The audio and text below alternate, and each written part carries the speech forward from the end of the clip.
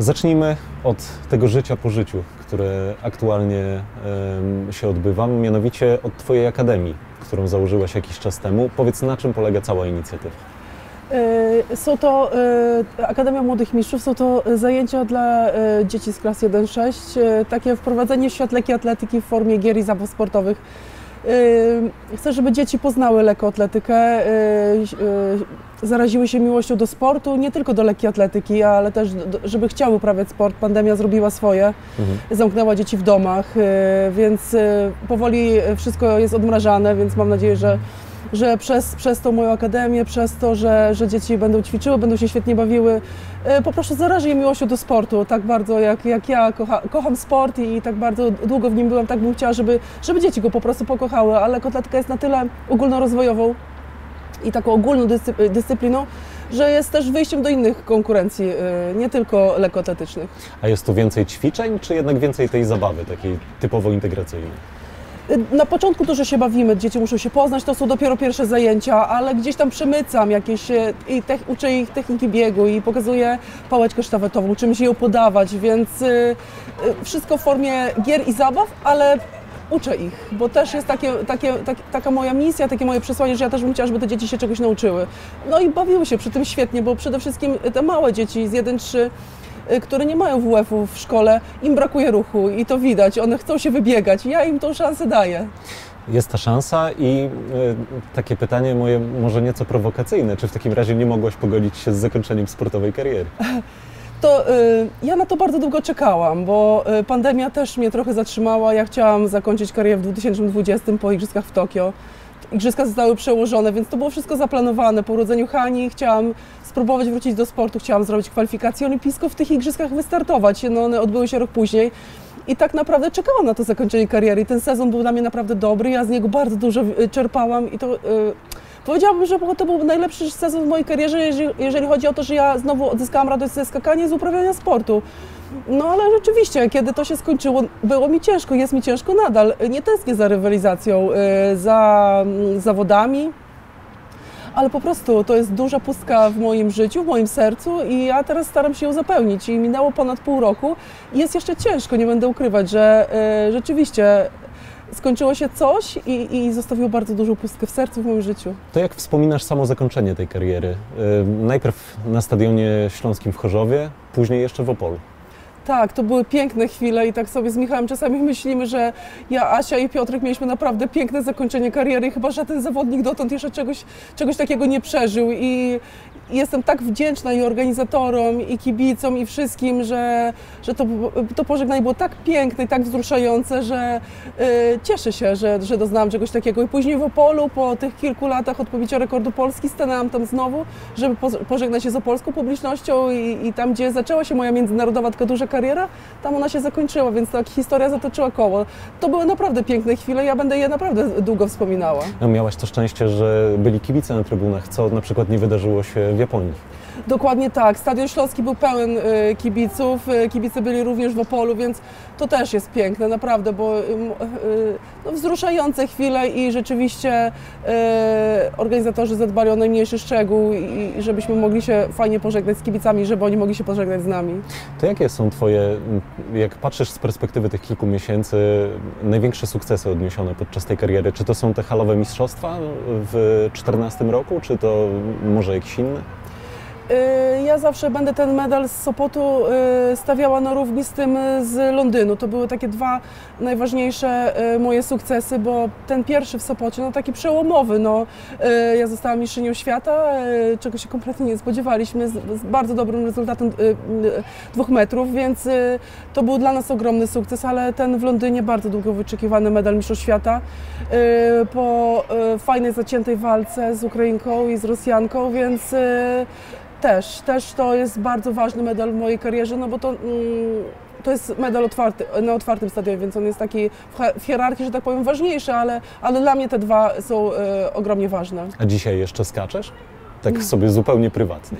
Nie, wiele razy mnie kusiło, ale, ale boję się, szczerze mówiąc, o moje zdrowie, bo ruszam się tak rekreacyjnie, trochę biegam, y, więc y, y, boję się rzeczywiście o to, że coś mi się stanie, ale kusi mnie. Bardzo mnie kusi, żeby skoczyć i myślę, że ten skok kiedyś oddam.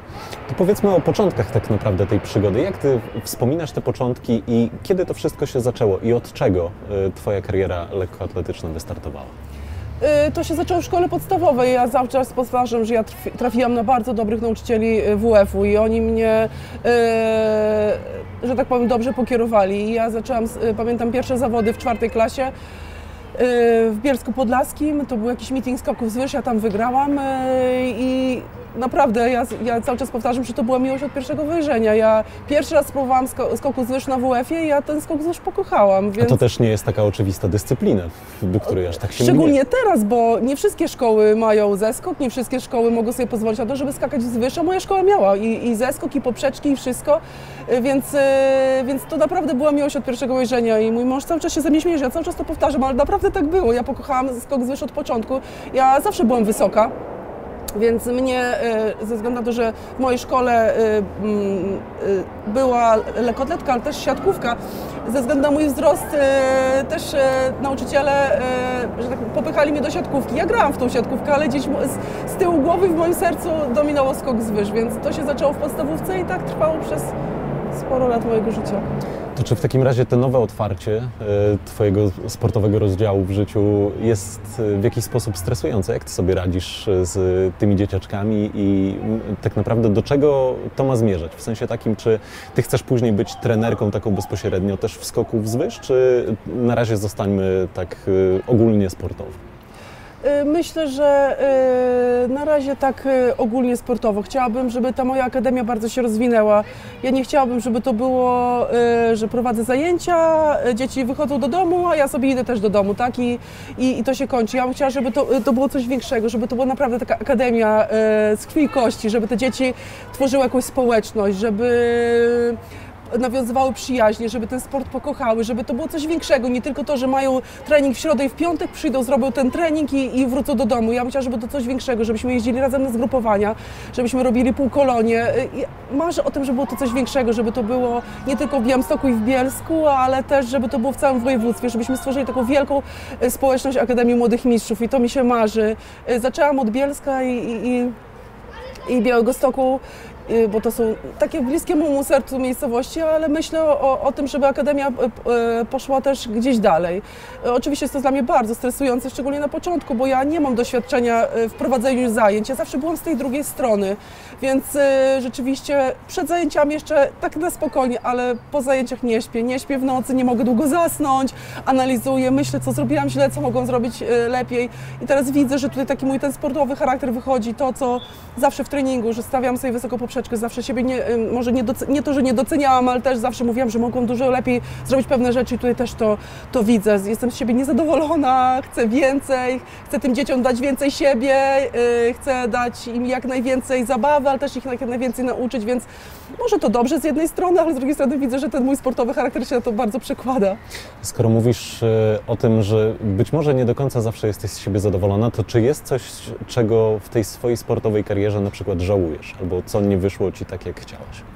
Ja myślę, że y, jeżeli chodzi o trening i o takie przygotowanie, y, to tutaj nie mam sobie nic do zarzucenia, bo ja odkąd zaczęłam trenować z Michałem, od tego 2012 roku ja zrobiłam bardzo solidny trening, zmieniłam swoje nastawienie, podejście do sportu. Ja stałam się naprawdę takim stuprocentowym, nawet dwustuprocentowym zawodnikiem. Ja zawsze robiłam więcej, chciałam więcej, dawałam od siebie więcej, ale gdzieś tam takie, mm, ta druga strona takie, takiego mojego charakteru i tego stylu, stylu bycia i takiego, jak, jaka jestem taka wrażliwa i, i szybko poddająca się emocjom i, i żałuję, że gdzieś tego mi się przez tyle lat nie udało pokonać, może gdzieś tak uspokoić na zawodach, bo ja widzę, że sport się skończył, a ja na duże rzeczy tak samo reaguję, więc to gdzieś jest we mnie i ja myślę, że żebym mogła to gdzieś opanować, to bym tych medali miała więcej. Ja szczególnie teraz widzę, że mimo, że sportu nie ma i treningów nie ma, ja cały czas tak samo reaguję, cały czas daję się ponieść emocjom i myślę, żebym gdzieś to, że teraz, żebym mogła wrócić i, i gdzieś popracować konkretnie nad tym, myślę, że ja bym wróciła z z tych imprez, na których startowałam i byłam gdzieś blisko podium, szczególnie Mistrzostw Świata, bo ja tam w Mistrzostwach Świata startowałam y, bardzo dobrze, y, wracałabym z medalami i tego żałuję, tego, że gdzieś te emocje zawsze brały górę. A czy Kamila Lićwinko ma dzisiaj jakiegoś upatrzonego następcę?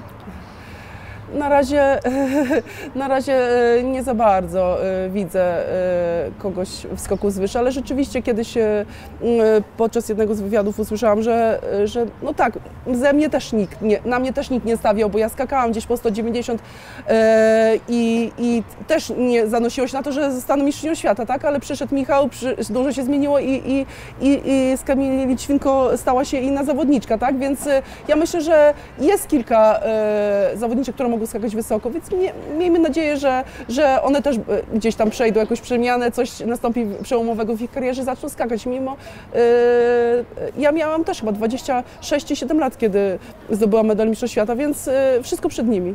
A masz jakieś przesłanie dla nich, co muszą zrobić, żeby właśnie wejść na ten poziom wyżej? Ja myślę przede wszystkim, że to jest ciężka praca.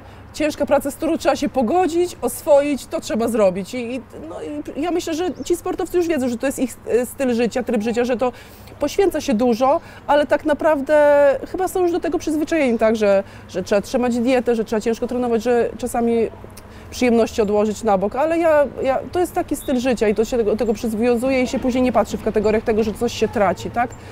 Y, Więc myślę, że przede wszystkim ciężka praca. Trzeba trenować i dawać siebie wszystko.